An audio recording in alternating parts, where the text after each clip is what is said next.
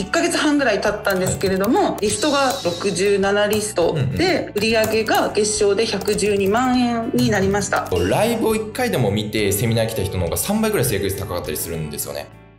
皆さんこんにちはこんにちは今回はですね会社員をしながらコンサル業を開始してたったインスタ500フォロワーでも副業から月賞112万円を達成したハッピーさんと一緒にねちょっと実績のお声ということで動画を撮っていきたいと思うんですが本日はよろしくお願いいたしますよろしくお願いいたします。ハッピーさん、今どういったね、ビジネスをしているのか簡単に教えていただいてもよろしいでしょうか？はい、私はですね、インスタグラムでは売上に伸び悩んでいる方のための繁華術ですとか、うん、えっと、SNS 集客について発信しています。売上アップのためのやっぱコンサルティングであったりとか、まあ、それでマーケティング指導っていうところをしていらっしゃるということですね。はい。で入学のきっかけってところを教えていただけますでしょうか？もともとツイッターの方で SNS 運用は1年半ぐらいですね、はい、していたんですけれども、はい、集客の間口を増ややしたいなと思いまして1ヶ月半前にインスタグラムを始めました。独学で1週間ちょっとやってみたんですけれども無理だなっていうことに気づきましてそこでいろいろ調べていくうちに理想計算にたどり着いて入塾を決めたっていう形になります。独学ではちょっと厳しそうだなって感じたっていうのはどういったあたりが厳しそうだなと思いましたか？ノウハウ自体はすごいインスタグラムに溢れてるなと思ったんですよ。なんでそれを元にやってみたんですけれども、うん、実際やってみてそれが合ってるのかどうかっていう答え合わせができないなって思ったんですよね。なるほどね。正解がわからないってことですね。添削してくれる人がいないと、うん、そうですね。はい。実際ノウハウ通りやってみても、思うように、まあ、フォロワーさんが増えなかったりですとか、リストが増えない悩みがありまして、もうこれはプロに見てもらうしかないなと思って入塾を決めました。結構 SNS マーケティング系のスクールとか塾とかでいっぱいある中で、まあ、うちを選んでいただけた最後の決め手みたいなのってあったりされたんですか？北野さんの YouTube をもう何度も見ていたっていうところとインスタライブに何回か参加させていただいて、うん、この人だと思って はいもうすぐに申し込んだ形です。ありがとうございます。早速なんですけども入学前の収入ベースだったりとか集客ベースってどんな感じだったんですか？Twitter の方ではもともと会社員をしながら月に40万から50万ぐらいをうろちょろだったんですけど、はい、なかなか100万とかっていうところにはやっぱりいかなくていまいちこうパッとなかったんですよね。うんうん、リストも取れてはいたんですけれども、うんうん、そこから成果に直でつながるっていうよりかはなんかリサーチ目的の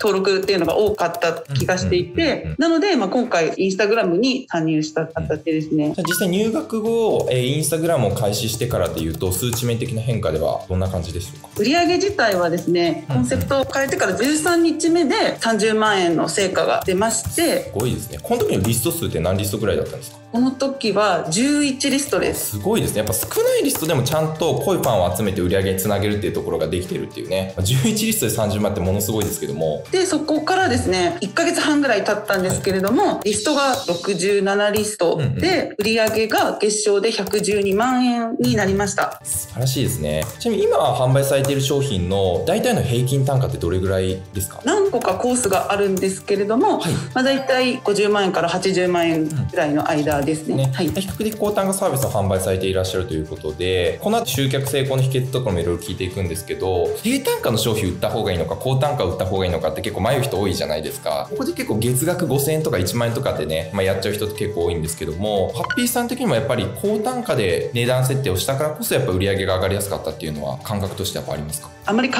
えてはなかったんですけれども、うん、高単価でしっかりとその価値を分かってくださる方に届けばいいなという思いでも自信を持って作っていました。うんそれぐらい値段設定にすると、この値段でも買いたいっていう人が集まってくるようになりますし、逆に値段を上げれば上げるほどですね、やっぱお客さんクレームってむしろ減っていったりするんですよね。お客さん質っていうのも高くなっていくので、次、そう、集客成功の秘訣ところでですね、ハッピーさんのインスタグラムをね、ちょっと共有しながら秘訣ところも聞いていきたいなと思うんですけども、こちらがね、えー、ハッピーさんの現在の、えっと、インスタグラムになります。コンセプトとしてはですね、売上に悩む SNS 集客かけるファン化の専門家、売上につながる集客を日本一わかりやすくっていうところで、まあ、ここの部分のね、コンセプトが弊社で初回のコンサルティングの時に一緒に作らせていただいたりもしたんですけども、プレゼント訴求、たった13日で30万達成した PDF100 ページ、プラス1時間超えの動画。7大特典をプレゼント。でリストにつなげていると。こういった形でね、タイトルに文字を入れて今、発信をずっとされていらっしゃるということなんですけども、ハッピーさんがインスタ運用で具体的に意識されているポイントとか、もしあればね、ちょっと教えてほしいなと思うんですけども。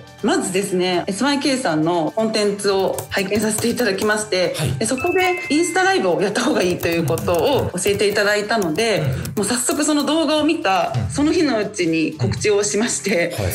次の日にですねインスタライブをやって、まあ、そこで見に来てくださった方が実際に商品の方を購入してくださったっていう形になります。すごいですね。じゃあインスタライブを見てそこからなんか個別相談で商品のご契約につながったっていう感じですかねそうですね。そこで参加してくださった方の中から何人か問い合わせをいただきまして個別で希望者の方にご案内という形でした。ライブでしっかりとファン化ができるとお客さんの方から商品買わせてくださいとか商品聞かせてくださいってやっぱ来ますもんね。そうでしたね。はい。実際にやっぱり皆さん気になってる。ハッピーさんってインスタグラム別に1万フォロワーいるとか5000フォロワーいるっていうわけではなくてフォロワー数ってまだねスタートしたばかりで、まあ、500フォロワーちょいなんですけどもこの段階から売り上げにつなげているというところで少ないフォロワー数そして少ないリスト数でも売り上げを上げるときにハッピーさんが成功できたその要因って何だったと思いますか？もうとにかくもうライブだなと確信しまして、再計算でいただいたその動画のテンプレートっていうのがあったので、まあ、その通りに進めていった形ですね。マインドとしてはとにかく誰も来なくてもいいからやろうって決めていて、たった一人に向けて発信を見てもらおうっていう気持ちで喋りました。僕も今でこそ毎週週2ぐらいでライブやって、まあ、大体150人とかやっぱ期待しますけども56年前ですかね当時だったら Facebook ライブをね人生で初めてやった時とかって3人もいなかったですよね視聴者。YouTube ブライブ5年前にやった時も大体5人とかだったし、そこから徐々に徐々にやっぱやり続けていくことでファンっていうのは増えていきますので、実際ハッピーさんの場合って、まあライブをしました。で、最後はなんか個別相談とかセミナーに意図的に毎回集めてるっていうわけではなく、ライブをした後に個別で問い合わせがあった人に直接商品を提案するっていう感じですか？そうですね。ライブで LINE であのこういうプレゼントをお渡ししてますというご案内はさせていただいたんですけれども、まあ、そこでそのプレゼントに興味を持ってくださった方が登録してくださって個別相談希望っていうメッセージを送ってくださったっていう流れですね。はい、今日動画見てくださってる方とかでもライブを1回見てからセミナーとか個別相談来る人とライブを1回も見ないでセミナーとか個別相談に来た人でうちもデータ取ってテストした時期があるんですけどもどっちが制約率高いかっていうとライブを1回でも見てセミナー来た人の方が3倍ぐらい制約率高かったりするんですよね。ライブを見てない人を個別相談とかセミナーに20人集めるぐらいだったら1回ライブを見てセミナーとか個別相談に集めていった方が高額商品売れるっていう話なのでぜひねライブはどんどんね積極的にやっていってほしいななと思います。ハッピーさん自身って今会社員をね、実際されていて、副業でね、あの100万を稼ぐって結構すごいことだと思うんですけども、心理面的な変化とかってありましたか？もしくは生活面的な変化とか。やっとその7桁っていうところに達成したので、うん、そこがゴールではないんですけれども、これでもいつでも会社を辞められるなっていう覚悟ができたっていうところが一番大きいですね。うん、心の余裕もやっぱ変わっていきますよね。そうですね、はい。と同時にお客様に私がこう成長する姿をどんどん見せていきたいなっていう気持ちも自分のステージが上がれば上がるほど、まあ、感じている部分ではあるので、これからも学びっていうことをもう忘れずに常に続けながら、ま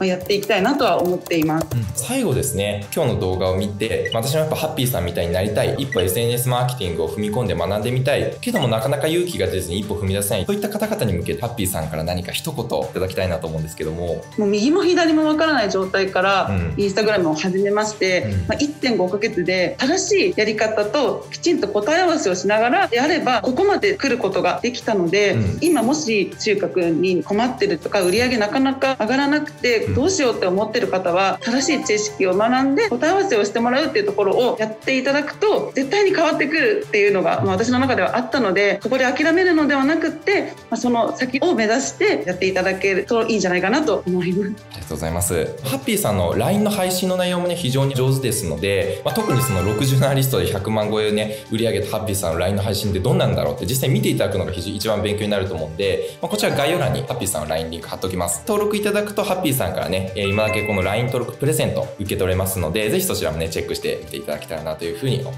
ます。本日はお時間いただき本当にありがとうございました。ありがとうございました。はい。今回も動画最後までご視聴いただき、本当にありがとうございました。私の LINE では、弊社がインスタ1000アカウント以上プロデュースして判明した、今最も結果の出る再現性の高いインスタグラム集客のノウハウ動画、そして LINE 公式アカウントの配信で制約率の2倍3倍高めるためのテクニック系の動画をプレゼントしております。またさらにですね、今だけ、こちらに出てるね、弊社出版している紙書籍もですね、どれか1冊プレゼントしておりますので、ぜひね、興味ある方は概要欄から LINE に登録いただいて、プレゼントを手に入れてみてください。また、この YouTube ではですね、日本一実践的で分かりやすい SNS SNS 集客のノウハウを日々配信しておりますので、ぜひね、今のうちにチャンネル登録もよろしくお願いいたします。そして、もっとですね、SNS を使って集客、そして売上アップにつなげていきたいという方はですね、弊社、え自宅で受けられるワンデー無料ズーム勉強会というのをね、日々行っております。まあ、こちらも興味ある方はね、下の概要欄から LINE 登録いただいて、ズームセミナーとカタカナの7文字でね、メッセージを送っていただきますと、日程が届きますので、こちらからお申し込みしていただけます。まあ、今だけね、参加特典として、こちらに出ているね、豪華6大特典もね、無料でもらえますので、ぜひね、セミナーの方もご参加いただけたら嬉しいなと思います。それではまた短い動画でお会いしましょう。